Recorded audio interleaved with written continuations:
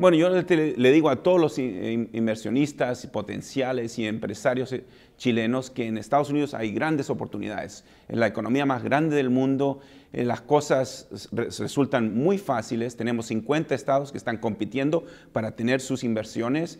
Vemos que tenemos una una uh, gente que es muy capaz, es una gente muy bien educada, los trabajadores eh, son competitivos y hay mucha innovación. Entonces, mucho similar, como en, en Chile hay reglas claras, las cosas funcionan muy bien, entonces espero que se animen y vengan a los Estados Unidos a invertir. The United States not only is the world's largest economy, but it's the center of the uh, of all of innovation and entrepreneurship, and that's something we share very much in common with our Chilean colleagues. And there's good and strong rule of law, and we share sort of a, a, vision for a free market economy. We have multiple free trade agreements, as the Chileans do. So there's a convergence of interests, and so Chileans would find it very comfortable to operate in the United States, much like they like our music, much like they like our movies. They like our business climate, and they're going to be very happy coming to the United States. We're open for business.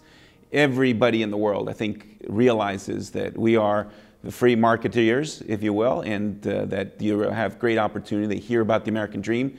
So when they're looking to put money where they can get results, I tell them, you've got to come to America, where you have 50 states that are going to be competing to get their investment, where there's great cooperation from the US government, where you have events like Select USA and a team at Commerce that is working to facilitate this. So I tell them, look, come to our embassy in Santiago, but if, even if you don't come to us, make sure you go to the United States, connect with our Commerce Department, and go out there and invest. We have a well-educated uh, workforce, innovative, that we're entrepreneurial, that uh, there's a rule of law, a very easy uh, investment climate, uh, one that is attractive, where people are more than willing to go the extra mile to help you out. And that's what I've heard from Chilean investors who have come to the United States. They're amazed by how friendly and how user-friendly folks are here. So when they come, they don't run into obstacles. They find people that are welcoming them.